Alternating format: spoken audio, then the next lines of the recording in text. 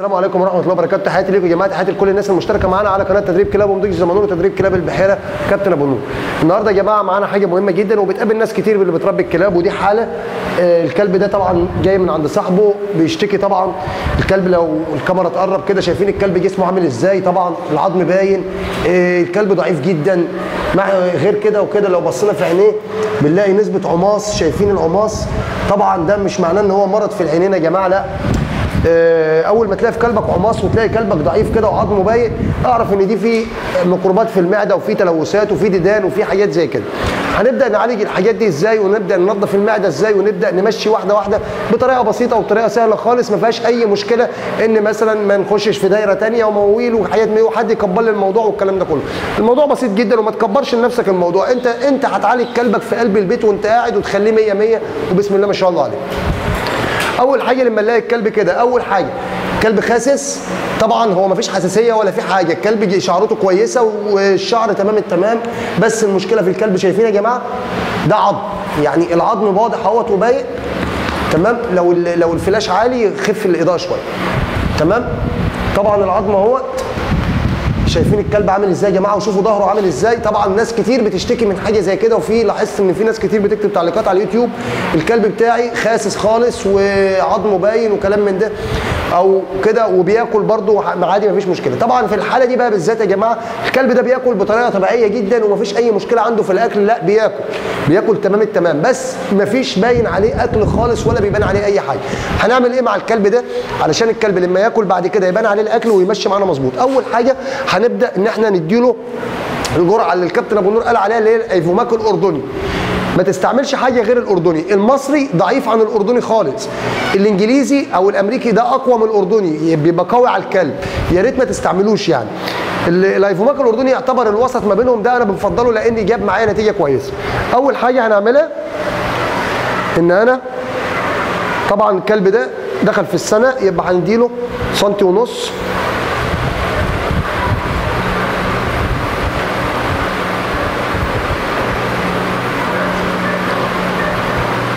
ادي سنتي ونص. ايفوماك أردني. وهنديهوله تحت الجلد. إزاي؟ طبعا بالشكل ده كده يا جماعة. الكلب بنجيب إيديا. في ناس ما بتعرفش تدي تحت الجلد يا جماعة. بص يا سيدي. هعلمك الطريقة سهلة خالص. أول حاجة هتحط إيدك على ظهر الكلب كده يبقى صبعك ده الصبع ده اللي هو في الإيد الشمال ده بيبقى في نص العظمتين اللي هم بتوع الكلب. وتفرد إيدك خالص تخلي إيدك مفرودة خمسة كده تمام؟ وتحط صبعك في ظهر الكلب كده بالشكل ده تعدل الكلب الأول تبقى راسه معدولة تمام؟ وتحط صبعك في النص كده وتفرد إيدك على ظهر الكلب كده تمام؟ وتبدأ إن أنت تيجي لامم الجلد كله وطالع بيه لفوق. وتحت صبعك اللي أنت فردته بالظبط هتيجي مدخل السرنجة كده وتدي الحقنة للكلب. أهي. شايفين يا جماعة؟ تحت صبعك بالظبط اللي أنت فردته أهو. خلاص كده يا جماعة الكلب خد الحقنة ونبدأ إن أنا نحرك الحقنة شمال ويمين علشان ما توقفش في مكان معين وتعمل له خراج في ظهره. شاطر شاطر شاطر. أدي يا جماعة بالنسبة لل Ivomec طبعا لو بصينا كده شايفين يا جماعة؟ كده ال Ivomec بدأ يشتغل معاه. بيعمل له بيعمل له نظام أكلان تحت الجلد. كده؟ ساعة ما تلاقي ال Ivomec يشتغل مع الكلب كده اعرف إن الكلب ده كان محتاج ال Ivomec ده ضروري. اعرف إن الكلب ده بيعاني بيعاني من مشاكل في معدته. بس خلاص بس بس.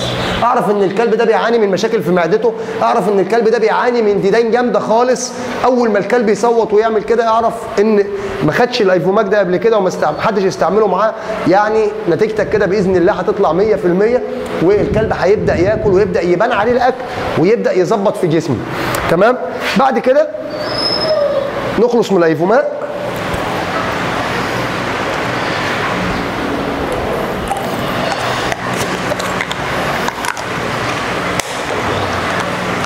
هنديله أنتينال.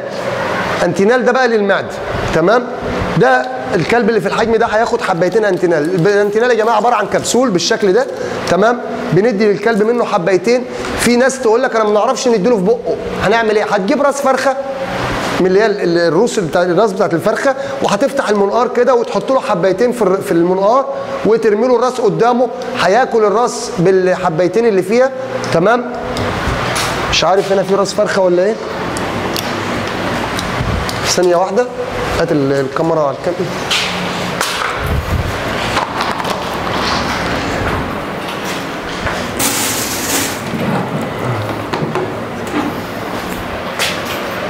ادي يا جماعة. ادي يا جماعة راس الفرخة. تمام؟ اهيت هنجيب حبيتين Antinal.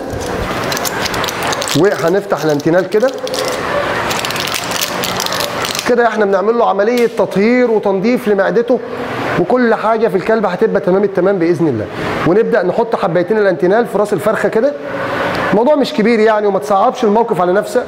وهنخلعه الكمامة أهو.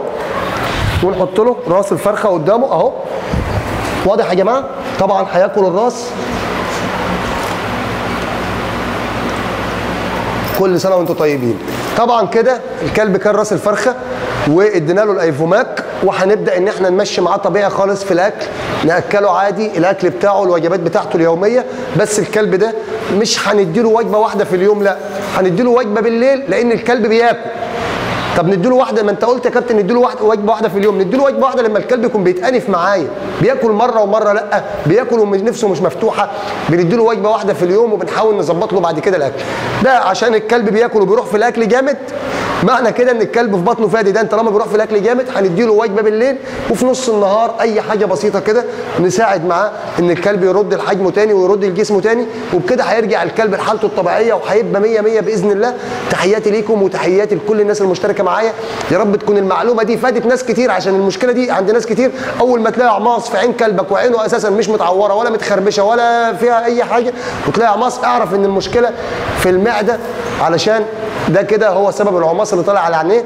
الحاجة الثانية اعرف إن كلبك محتاج ياخد علاج والعلاج ده في إيدك أنت.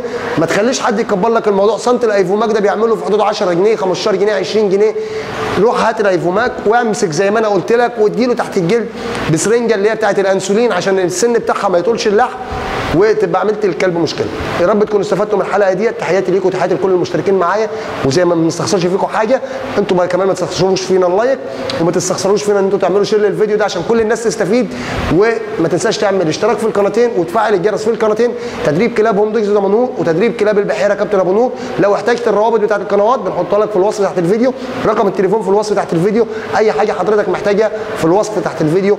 تحياتي ليكم والسلام عليكم ورحمة الله وبركاته.